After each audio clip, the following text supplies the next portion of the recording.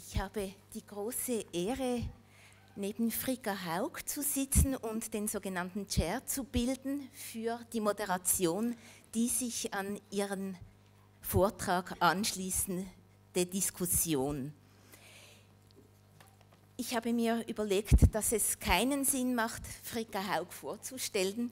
Wir sind alle hier, weil wir sie kennen und schätzen. Ich wollte nochmals auf diese kurze Vignette zurückkommen, weil ich sie so bezeichnend finde, dass es nämlich keine Zitate, Autorinnen und Fußnoten gibt zu diesem Begriff Marxismus, Feminismus oder Feminismus, Marxismus.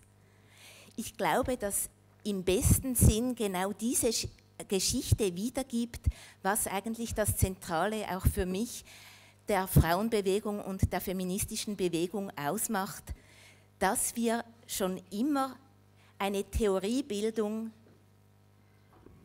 dass wir schon immer eine Theoriebildung in Gemeinsamkeit angestrebt haben, wo es eben nicht die Autorin gibt, sondern es ist immer eine kollektive Praxis, die wir gewonnen haben aus der politischen Praxis, also eine Theoriebildung, die wir im Kollektiv machen.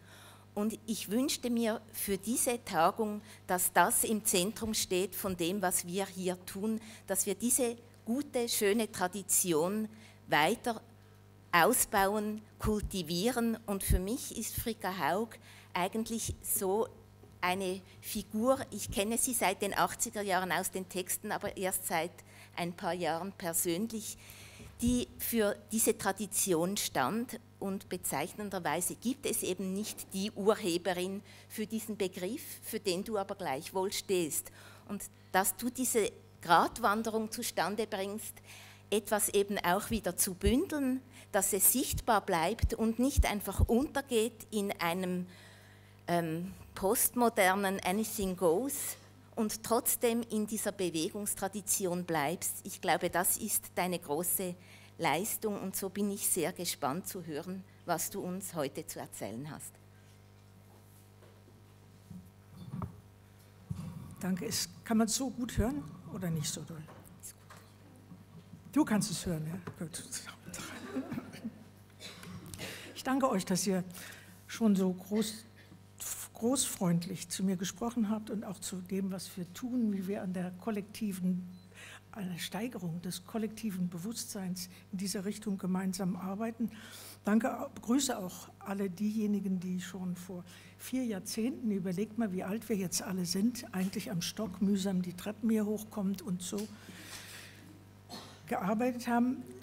Wir seit mehr als vier Jahrzehnten an diesem Verhältnis zwischen Marxismus und Feminismus festhielten, weil wir gegen alle Versuchungen vom Marxismus nicht lassen wollten und zugleich die feministischen respektlosen Fragen ebenfalls für absolut notwendig hielten.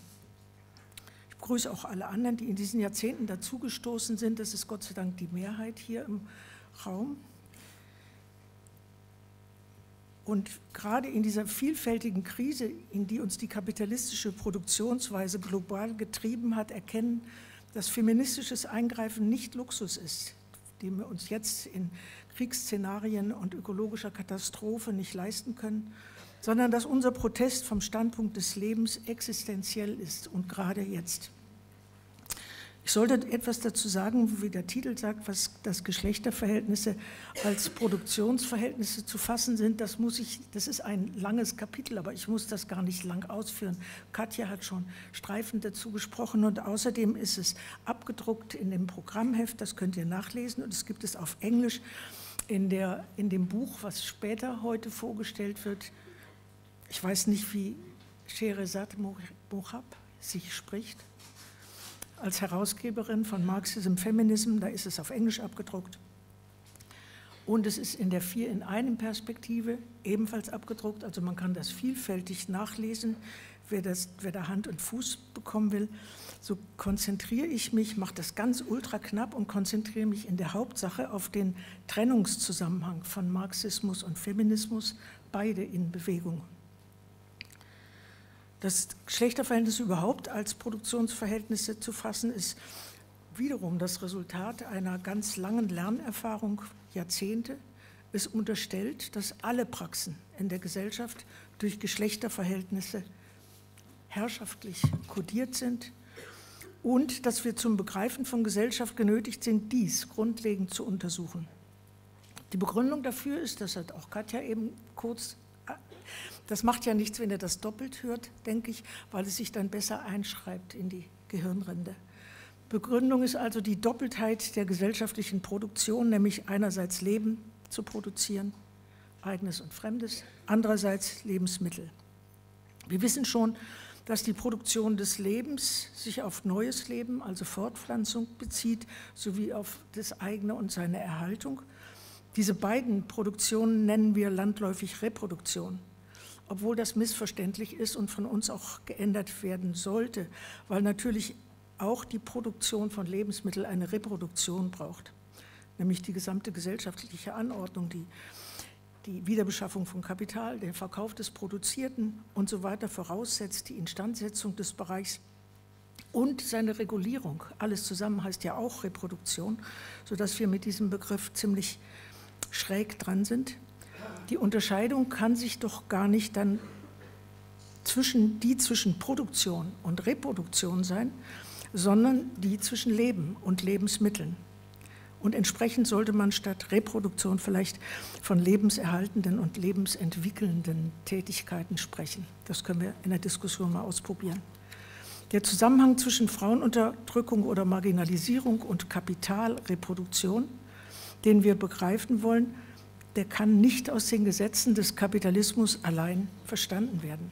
Umgekehrt ist der Kapitalismus als ein Zivilisationsmodell zu verstehen, welches das Auseinander der Bereiche von Lebensproduktion und Lebensmittelproduktion zugespitzt hat und sich der überlieferten Herrschaft in dem einen Bereich, wo es ums Leben geht, für seine Zwecke zu bedienen weiß. Es sind immer noch zwei Bereiche. Wir können davon ausgehen, dass sich die Entwicklung der Produktivkräfte, diese marxistischen Begriffe benutze ich einfach ohne weitere Erläuterung, weil ihr die alle kennt, also die Entwicklung der Produktivkräfte ebenso wie die Frage, was als Fortschritt gilt und auch die Anhäufung von Reichtum allesamt auf den Bereich der Produktion der Mittel zum Leben beziehen, der darum der relevantere scheint und der sich also den der Produktion des Lebens als Voraussetzung und Resultat unterworfen hat. Von Anfang an hat kapitalistische Produktion eine Grundlage, die an der eigenen Zersetzung arbeitet, an Einsparung eben von Arbeit, die die Quelle ihres Profits ist. Ein ganz dialektisches Verhältnis, ein Zwang in steter Veränderung zu denken. Es geht also um zwei Produktionen mit zwei Zeitlogiken. Schneller, rationeller, sparsamer die eine, sorgsam, pfleglich, erhaltend, zeitlich ausgedehnt, ja langsam die andere. Der größte Teil der für das Überleben von Menschen notwendigen Tätigkeiten die von ihrer Qualität her nicht der Logik der Zeiteinsparung folgen können, wird ausgelagert. Das heißt, auf der ideologisch-kulturellen Ebene zählen sie nicht als Arbeit. Auf der Ebene der Organisation von Arbeiten heißt das, dass sie zumeist nicht in der üblichen gesellschaftlich anerkannten Lohnform entgolten werden, also umsonst oder ganz billig. Auf der Ebene der Gleichheit der Menschen, dass sie von Ungleichen getan werden müssen oder ungetan bleiben.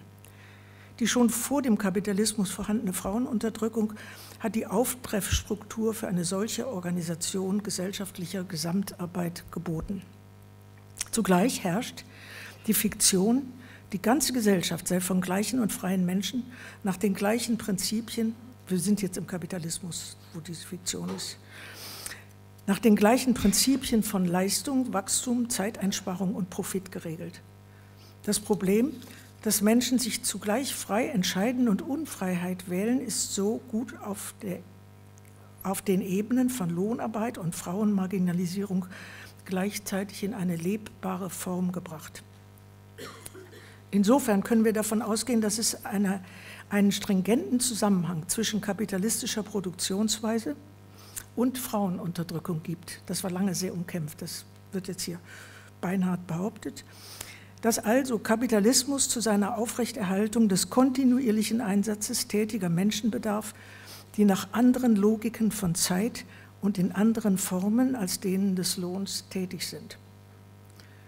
1985, also schon vor 30 Jahren, so langsam gehen Erkenntnisse voran, habe ich einen ersten Versuch gemacht, mich der Problematik der zwei Zeitlogiken von einer politischen Seite her anzunähern. In die damalige Diskussion um die Verkürzung der Arbeitszeit, das war damals die 35-Stunden-Woche, stand, die stand auf der Tagesordnung, habe ich die Dimensionen des Sozialen, Reproduktion der Menschen und ihrer Entwicklung und des politischen Erwerb und Praxis der Kompetenzen in die Regulierung der Lebensbedingungen überhaupt einzugreifen, als Dimensionen von Zeit nachgetragen. Ich schlug vor, die Debatte um die sogenannte Doppelbelastung von Frauen durch Erwerbs- und Hausarbeit, das haben wir ja bis heute, in eine Frage widersprüchlicher Zeitlogiken zu verschieben. Die Forderung nach einer radikalen Verkürzung der Erwerbsarbeitszeit wollte ich verbinden mit einem Wissen darum, dass in der Tat eine Verlängerung der Arbeitszeit mit einem anders weitergefassten Arbeitsbegriff die Folge sein müsste, wenn Menschen in der Lage sein sollen, über die Bedingungen ihres Handelns und über ihre Entwicklung mit zu verfügen, beziehungsweise dass die Ausfüllung des Tages mit Lohnarbeit auf jeden Fall Frauenunterdrückung auf der einen Seite und politische Unmündigkeit sowie kulturelle Unterentwicklung auf der anderen reproduziert. Auf Basis der biologischen Ungleichheit der Geschlechter und der historisch archaischen Unterwerfung des weiblichen Geschlechts lassen sich Freiheit, Gleichheit und Brüderlichkeit vergleichsweise umstandslos aufrechterhalten, als seien sie allgemeingültige und realisierte Werte, die patriarchale Struktur wird vervollkommnet durch die Notwendigkeit, das Zueinander solcher unterschiedlicher Zeitlogiken und Tätigkeiten im Gesellschaftsganzen politisch zu regeln, was der Logik der Sache nach unbedingt Männerbünde voraussetzt. Ich glaube, das kann man schon denken, wenn man sich die Anordnung anguckt. Es müssen Männerbünde sein. In dem, was wir heute als Frau kennen, ist also das Überleben der Menschheit in der Verkehrung eingesperrt und die Unterdrückung des weiblichen Teils der Menschheit festgehalten. In der praktischen Einengung der Arbeitsfrage auf die profitbringenden Tätigkeiten stellt sich die Gattungsfrage. Das ist heute doppelt wörtlich zu verstehen. Die Produktion um der Produktion willen hat die Menschheit schließlich dahin gebracht, dass die Erde vernichtet zu werden droht, die Nahrungsmittel vergiftet sind, die Städte unbewohnbar werden Insofern sind in der Frauenunterdrückung zugleich die Ausbeutung und Vernachlässigung der Natur und die des Überlebens der Menschheit eingeschrieben. Da sieht man, wie dringlich das heute zu, auseinander zu diskutieren ist. Da die Arbeitsteilung zwischen den Geschlechtern mit der Natur des einen Geschlechts begründet wird, wachsen auch andere Arbeitsteilungen den Herrschenden und Beherrschten als Naturbegabungen zu und können selbst die Hierarchie unter den Lohnarbeitern noch als natürliche Unterschiede legitimieren. Die Lohnkämpfe werden in dieser Weise als Männerkämpfe geführt, gekrönt vom männlichen Ernährerlohn, der das Funktionieren des kapitalistischen Zivilisationsmodells in die individuelle Zuständigkeit verlagert. An dieser Stelle steht in der Frauenbewegung der Vorschlag, den Arbeitsbegriff um die Hausfrauentätigkeit zu erweitern. Dass dies als Eingriff in das gesamte Zivilisationsmodell des Kapitalismus verstanden wird, ist selbst eine politische Tat und ein kultureller Kampf, für den in 40 Jahren Frauenbewegung, für den 40 Jahre Frauenbewegung stehen. Es ist auch ein Kampf gegen männliche Herrschaft, der wegen des zusammen, partiellen Zusammenwirkens, ist ein, ein Knüppelsatz jetzt, deswegen spreche ich etwas langsamer, wegen des partiellen Zusammenwirkens von Kapital und Patriarchat nur gewinnbar wird, wenn die unterschiedlichen Bewegungen sich so vernetzen, dass sie sich wechselseitig unterstützen können, statt einander zu delegitimieren. Dabei bleibt aber die Marxische Frage nach der Möglichkeit einer Selbstvergesellschaftung der Menschen nach der gemeinsamen und also herrschaftsfreien Regelung ihrer Lebenstätigkeiten aktuelle Forschungs- und Politikfrage, gerade für Frauen. Durch Hineinnahme des Standpunktes der Frauen können wir mehr Dialektik in den vorhandenen Marxismus bringen, ja durch den expliziten Bezug auf das Besondere der Frauen statt einer impliziten Gleichsetzung des Männlichen mit dem Allgemeinen, wird die Fassung des Allgemeinen radikalisiert. Es wird offenbar werden müssen, dass das, was allen gemein sein könnte, erst noch zu erringen ist. Der Herrschaftszusammenhang von Kapitalismus und Patriarchat muss konkret in allen Lebensbereichen herausgearbeitet werden, um eine Frauenbefreiungspolitik zu ermöglichen, welche die ständige Reproduktion von Männerherrschaft im Fundament der Gesellschaft umzuwälzen sucht. Die gleichzeitige Artikulation von Erfahrungen aus der individuellen Reproduktion, ich benutze dieses Wort weiter, weil ich noch kein besseres habe, mit den großen Fragen der Gesellschaftsstruktur zieht die Fragen der Gleichstellung über die bloße Gleichberechtigung hinaus in eine befreite Gesellschaft. Sie zieht die individuellen Erfahrungen ins Öffentliche und ermöglicht ihre Einbeziehung in den Traum von einer anderen Gesellschaft. Was gewinnt man also, wenn man Geschlechterverhältnisse als Produktionsverhältnisse fasst? Man begreift Frauen und Geschlechter nicht länger als metaphysische Größen, sondern als Einsätze in Verhältnissen, als historisch sich ändernde Größen und erkennt, wo eingegriffen werden sollte. Es geht nicht um die Beziehungen der Geschlechter zueinander, sondern die Produktionsverhältnisse selber gehören in den Feminismus gezogen und umgebaut, besetzt und anders gestaltet. Im Kern geht es um die Ökonomie der Zeit. Im kapitalistisch herrschenden Ringen um Zeit muss die Seite des langsamen Menschlichen unterliegen, weil die Produktion um des Profits willen gepanzert ist mit dem Reichtum der Dinge, mit Militär und Staat. Wie dies konkret ausgetragen wird, leben wir gegenwärtig in stets zuspitzender Krise, in Völkerwanderung, von Hunger und Elend in großen Teilen der Welt, in Krieg und Zerstörung. Vom Standpunkt der Menschen ist feministisch-marxistischer Vorschlag für die Politik, das, was Katja auch schon angedeutet hat und ihr im Programm habt, die Politik um die Vier in einem Perspektive. Also für die Politik um Zeit, die Vier in einem Perspektive, die wir als nächstes als Workshop haben. Sie ist Kompass, um klarer zu sehen und entsprechend zu handeln, welche Bereiche in je verschiedenen Logiken des Zeitverbrauchs und seiner hierarchischen Anordnung einen Platz brauchen, wenn es ein gutes Leben werden soll. Das ist der Zielbegriff. Im Studium der Widerstände gegen eine so einfache Lösung, den menschlichen Alltag anders einzuteilen, erkennt man, dass die jeweilige Gewichtung eingelassen ist in unsere Kultur. Sie ist tradierte Lebensweisung, in die schon Herrschaft und Subalternität ihre Posten besetzen und verteidigen. Ohne große Schwierigkeit erkennt man sogleich, dass auf der weiblichen Seite lebendiges Heim und Wohlsein gewissermaßen auf Kosten derer, die dies häuslich bewerkstelligen sollen, situiert ist. Wo auch Frauen in den Lohnarbeitsbereich einbezogen werden, folgen Stress und Vernachlässigung. Frauen können sich keine Kinder mehr leisten, sobald sie den Ernährer, der Haustyrann war, in neoliberaler Freiheit los sind und mit ihm ihre Existenzgrundlage. Sie werden wahrgenommen als Karrierefrauen, nicht etwa als solche mit Anspruch auf Selbstverwirklichung, als egoistisch, nicht etwa als kompetent, kommen ihren natürlichen Aufgaben nicht nach, die gesellschaftliche Reproduktion unauffällig zu garantieren. Das Ganze geht neoliberal global über die Grenzen der Völker. Das nennt man dann Karrierefrauen beuten Migrantinnen aus. Aber mit ein wenig klarem Kopf erkennt man, dass in kapitalistischen Gesellschaften die Reproduktion der Menschen selbst, die sorgende Freundlichkeit für alle, nicht vorgesehen ist. Keine gesellschaftliche Aufgabe zu sein scheint, dass kurz gesprochen die Profitproduktion buchstäblich über Leichen geht, ohne dabei ein schlechtes Gewissen zu haben. Es scheint keine Frage der Moral, machen wir es dazu. In den Kämpfen um Zeit gibt es Allianzen, die zum Herrschaftsknoten geschnürt sind früh im kapitalistischer Zeitrechnung, sehr spannend zu untersuchen übrigens in kapitalistischer Zeitrechnung, lässt sich erkennen, dass der Lohnarbeiter männlich sein muss.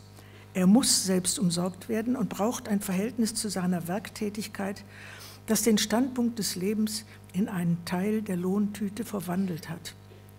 So sieht man, wenn man das historisch in der Entwicklung kapitalistischer Produktionsweise verfolgt, dass Schutz der Familie, Ernährerlohn, Geringwertigkeit weiblicher Hausarbeit allesamt zu den Widerständen und zur Selbstbehauptung und zum Inventar eines Verhaltens gehört, mit dem die Arbeiterklasse gegen das Kapital antritt.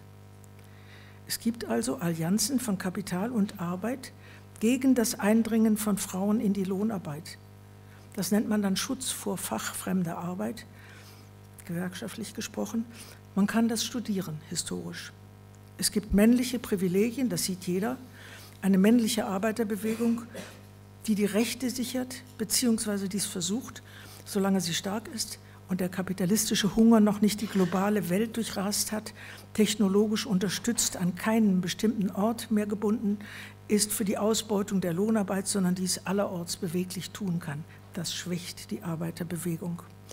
Ein unglaublich weites Feld, in dem Hunger und Elend die Begleiter der Menschheitsentwicklung sind und gesellschaftlich, Gesellschaften offensichtlich immer reicher werden und immer ärmer.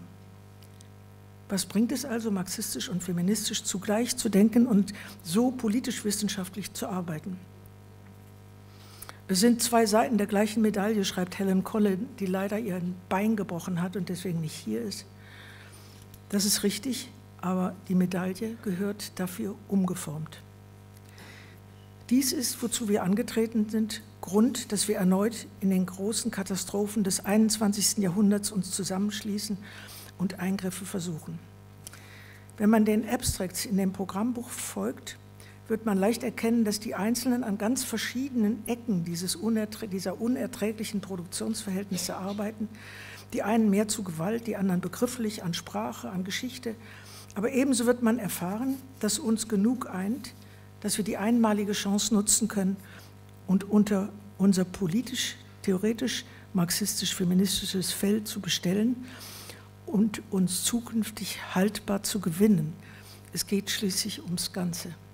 Jetzt kommt ein letzter radikaler Einschub. Ich hatte das konjunkturelle Glück, mit Arbeitsforschung in gewerkschaftlich strategischem Denken begonnen zu haben, als Marxistin mit sozialistischen Hoffnungen. Das gibt für feministischen Marxismus einen besonderen Halt in doppelter Erfahrung und so etwas wie intolerante Toleranz. Gerade weil die gewerkschaftliche Fundierung zur eigenen Biografie gehört, kann die stete Wiederholung angeblich Marxischer Sätze über Klasse- und Arbeitskämpfe und die Nebensächlichkeit der Frauenkämpfe auf polemische Ablehnung stoßen bei gleichzeitiger Toleranz, sie ermüdet einfach stehen zu lassen und was anderes zu tun. Aber die dogmatische Vereinnahmung des Dialektikers Marx für die metaphysischen Positionen des Gewussten und für Wahrgehaltenen führt auch widerständig zur immer erneuten Lektüre Marxischer Texte, die lange noch nicht ausgeschöpft sind und sich gerade für den jungen feministischen Marxismus als eine Quelle weiterer Erkenntnis erweisen. Man lernt unglaublich viel. Dazu gehört die bewegliche Respektlosigkeit, auch Überholtes zurückzuweisen. Marx selbst aus der metaphysischen Vereinnahmung zu befreien und in die Zeit zu holen, wird insofern eine feministische Aufgabe, weil der lange Weg der Eintragung der Frauen in ein sozialistisches Projekt die vielen Gegner solcher Versuche aus den falschen Bündnissen loswerden muss mit Marx. Bedenken wir, dass Marxismus marxisches Denken und Arbeiterbewegung ist, dann ist seine Stärke zugleich mit seiner Begrenzung deutlich. Rosa Luxemburg fragt, ob ein wirkliches Bedürfnis der Zeit nach theoretischer Arbeit vorliege und vor allem, das sind Zitate immer, und vor allem, ob wir als Sozialisten ein Bedürfnis nach theoretischer Weiterführung der Lehre über Marx hinaus haben. Für die Arbeiterbewegung verneint sie diese Frage. Die Entstehung des Mehrwerts, das heißt die wissenschaftliche Erklärung der Ausbeutung sowie die Tendenz der Vergesellschaftung des Produktionsprozesses, das heißt die wissenschaftliche Erklärung der objektiven Grundlagen der sozialistischen Umwälzung, sind alle entwickelt in Band 1 des Kapital und haben damit das eigentliche theoretische Bedürfnis der Arbeiterbewegung im Großen und Ganzen befriedigt. Immer noch Luxemburg. Sie braucht für ihren Klassenkampf den dritten Band des Kapitals nicht. Sie fährt fort, Aber wie mit der marxischen ökonomischen Lehre steht es mit der theoretischen Forschung überhaupt in unserer Bewegung? Es ist nichts als eine Illusion zu denken, die aufstrebende Arbeiterklasse könne durch den Inhalt ihres Klassenkampfes aus freien Stücken auf theoretische Gebiete ins Unermessliche schöpferisch wirken.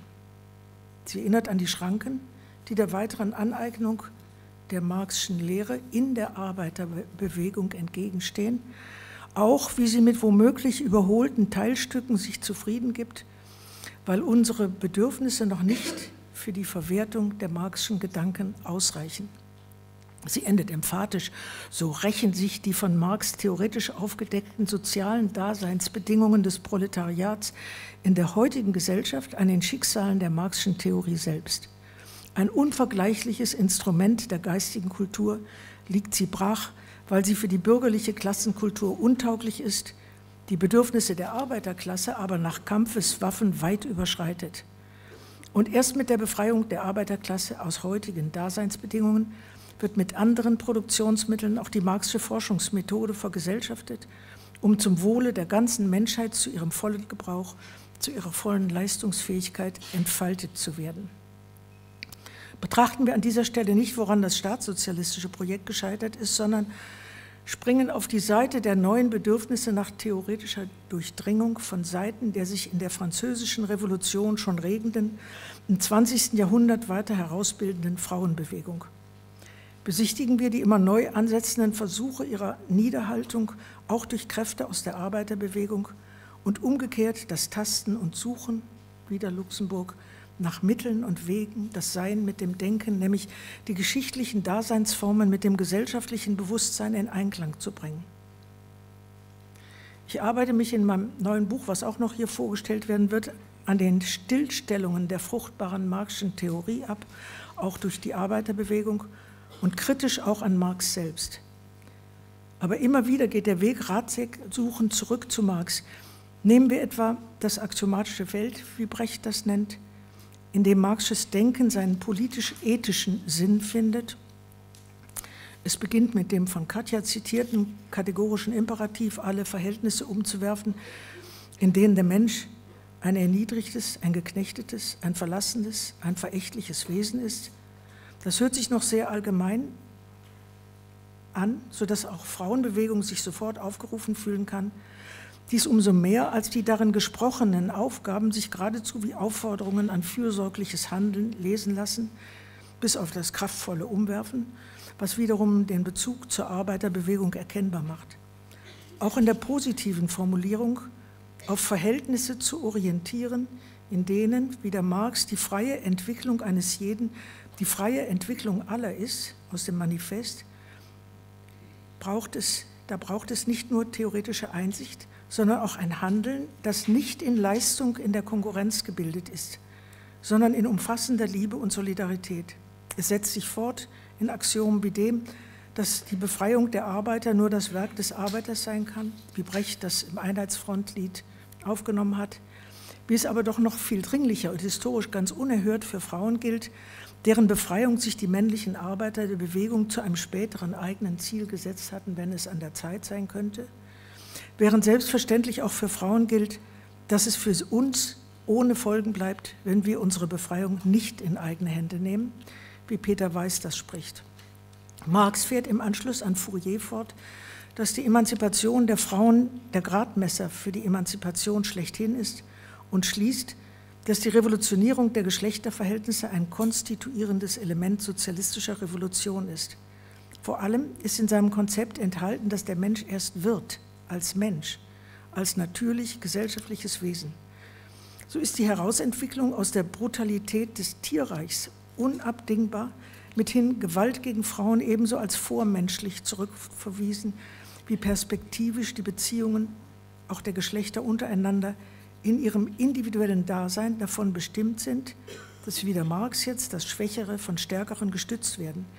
Und schließlich folgt das Postulat, dass die Beziehung der gesellschaftlichen Menschheit zu ihrem natürlichen Laboratorium betrifft, dem, wie Marx sagt, Zitat wieder, Arsenal, das sowohl, sowohl das Arbeitsmittel wie das Arbeitsmaterial liefert, wie den Sitz, die Basis des Gemeinwesens. Vom Standpunkt, jetzt ist der dritte Band Kapital genannt, kommt jetzt vor, der für die Arbeiterbewegung nicht mehr nötig ist. Vom Standpunkt eines höheren, einer höheren ökonomischen Gesellschaftsformation wird das Privateigentum einzelner Individuen am Erdball ganz so abgeschmackt erscheinen wie das Privateigentum eines Menschen an einem anderen Menschen. Selbst eine ganze Gesellschaft, eine Nation, ja alle gleichzeitigen Gesellschaften zusammengenommen, sind nicht Eigentümer der Erde. Sie sind nur ihre Besitzer, ihre Nutznießer und haben sie als Boni Patris Familie den nachfolgenden Generationen verbessert zu hinterlassen. Lassen sich die einzelnen Imperative je für sich genommen eng führen in Wohltätigkeit, die es mit dem Umsturz nicht so ernst zu nehmen braucht, in Elitebildung, die arbeitsteilig ihre qualifizierten Geschäfte betreibt, zum Wohle anderen, wie ein gut ausgebildeter Arzt gut ist für die Heilung Kranker, in Naturschützer, die gegen allzu drastische Übergriffe sich einsetzen, so entfalten die drei Imperative ihre transformative Sprengkraft, sobald sie als gemeinsame aufgerufen sind, wie in ein Kraftfeld mit mehreren Polen uns einzutreten nötigt. Das Postulat endlich, auf welches die Darstellung der kapitalistischen Industrie im Marxischen Kapital zuläuft, nämlich die Reproduktion als regelndes Prinzip der Produktion durchzusetzen, beziehungsweise den gesellschaftlichen Stoffwechsel mit der umgebenden Natur, wieder Zitat, systematisch als regelndes Gesetz und in einer der menschlichen Entwicklung adäquaten Form herzustellen, ist vom feministischen Standpunkt zugleich Leitlinie. Das, was sich krisenhaft als ökologische Frage geltend macht, in ein Transformationsprojekt aufzunehmen und zugleich das, was sich als Reproduktionskrise äußert, dem schon eine Kehrbewegung antwortet, also die Fragen der Reproduktion der Menschen selbst, auf den organisch sinnvollen Platz zu heben. Das Auftreten von Frauenbewegung als Empörung gegen die Stellung der Frauen außerhalb der herrschenden Kultur verlangt nach einem weiteren Zugriff auf Marxische Theorie. Wo habe ich eigentlich meine Brille hingetan? Hier.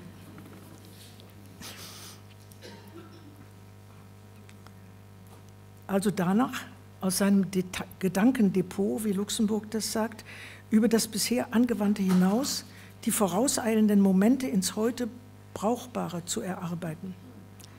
Kapitalismus raste, seit Marx das kommunistische Manifest schrieb, wie von ihm vorhergesagt, über den gesamten Globus unterwarf seinem Verwertungstrieb alle anderen Produktionsweisen, vernichtete Kulturen und entwickelte die Produktivkräfte der Arbeit in einem Maße, dass lebendige Arbeit immer weniger wird, menschliche Entwicklung also immer größere Räume disponibler Zeit erhalten könnte.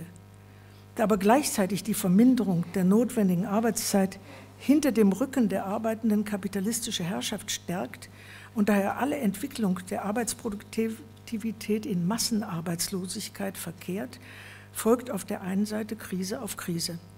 Feministischer Marxismus findet sich also vor den großen gesellschaftlichen Fragen vielfacher Krise, der Überakkumulation von Waren, von Geld, Massenarbeitslosigkeit und dem herannahenden Ende der Rohstoffe mit Kriegsszenarien in wachsendem Umfang und der Drohung einer klimatischen Unbewohnbarkeit der Erde vor einem so globalen Problembündel, dass die feministischen Fragen nach der Lage und den Möglichkeiten und Fähigkeiten der Frauen wie eh und je als Kindergeschrei und Kaffeeklatsch beiseite gewischt zu werden drohen.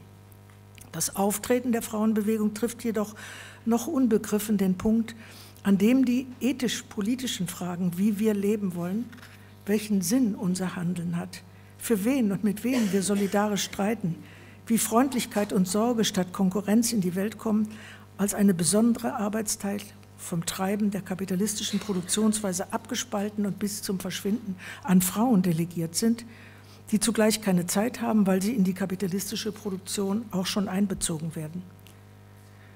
Der sich selbst abhanden gekommene Mensch, wie der junge Marx das spricht, benötigt zur Wiedergewinnung die gleichzeitige Anrufung der Fragen des Lebens wie die der kräftesparenden Produktion seiner Mittel. Für diese Zusammenfügung braucht es einen feministischen Marxismus. Er nimmt den historischen Platz ein, die beiden Produktionen, die des Lebens und die der Lebensmittel, zum Ausgangspunkt zu nehmen und ihre organische Zusammenführung so anzugehen, dass keines über das andere hierarchisch angeordnet ist und so dass selbst das Leben selbst nicht zum Abfallprodukt der Produktion seiner Mittel wird. Feministischer Marxismus kann als Theorie von Frauenbewegung in allgemeiner Perspektive nicht herausgefordert sein, eine Politik zu entwerfen, die Gefahr läuft, von oben bürokratisch Politikkonzepte zu dirigieren. Die derzeitigen Weltprobleme sind Herausforderungen, sich eine Weltgesellschaft vorzustellen, in der solche Katastrophen aus kapitalistischer Produktionsweise nicht aufkommen. Der Weg eines feministischen Marxismus ist wie bei Marx, auch bei Engels entworfen, bei Luxemburg und bei Gramsci durchbuchstabiert, bei Brecht und anderen exemplarisch vorgeführt, einer, der mit dem Bewusstsein der je Einzelnen ringt. Es geht darum, Hegemonie für eine sozialistische Demokratie zu gewinnen, für eine friedliche Gesellschaft ohne Unterwerfung und Ausbeutung, in der auch alle Frauen selbstverständlich Platz als Menschen haben. Für eine Gesellschaft, in der es überhaupt keine Herren gibt, braucht es keine eigenen Frauenrechte, auch keine Minderheitenrechte, weil alle das Erbe der französischen Revolution angetreten haben, Freiheit, Gleichheit und Solidarität. Die Vier in einem Perspektive macht ernst mit diesem Projekt, indem sie als harmloser Weg beginnt von radikaler Erwerbsarbeitszeitverkürzung, Recht auf Entwicklung, Recht und Pflicht praktisch sozialer Verantwortung und Politik für alle. Und zwar Politik, die die nächsten Generationen und die Natur, die unsere Lebensbedingung ist, einbezieht. Freilich braucht und bewirkt die Vier in einem Perspektive zu ihrer Verwirklichung eine Umwälzung der bisherigen Gesellschaft auf allen Ebenen, nicht zuletzt der der Werte und Normen, der Gewohnheiten, des Alltagslebens und der politischen Ethik. So wird sie auf Widerstand stoßen. Diesem zu entgegnen braucht es viele, die diesen Weg überzeugt gehen wollen. Es ist ein langes Alltagsgeschäft. Es ist so notwendig wie vernünftig und allen zugetan. Nennen wir dies das Projekt einer radikalen Demokratie. Fertig.